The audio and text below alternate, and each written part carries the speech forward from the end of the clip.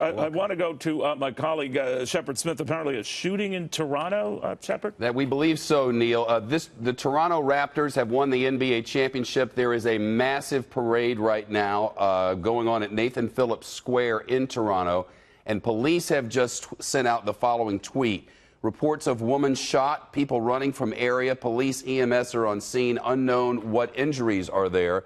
But we do have some video that will show you the crowd hightailing it out of there. You can see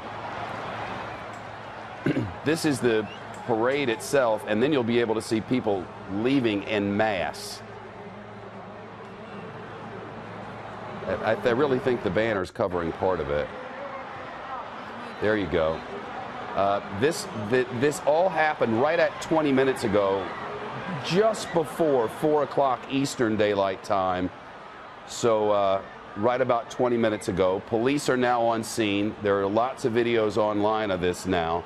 Uh, again, the police say there are reports of a woman shot, and there are, but there is no evidence of that yet that we know of. Uh, we know that the, the parade quickly broke up and people running in all directions, and now police are there investigating, as are emergency services. So the location is the square in Toronto, uh, where there's, there's a bit of a panic, at least at the beginning. Nathan Phillips Square, where the Raptors are celebrating their NBA championship. And here's what the police have said. Uh, reports of woman shot, people running from the area, police, EMS on scene, unknown what the injuries are. Updates as we get them on Fox News Channel. Your World with Cavuto continues after this.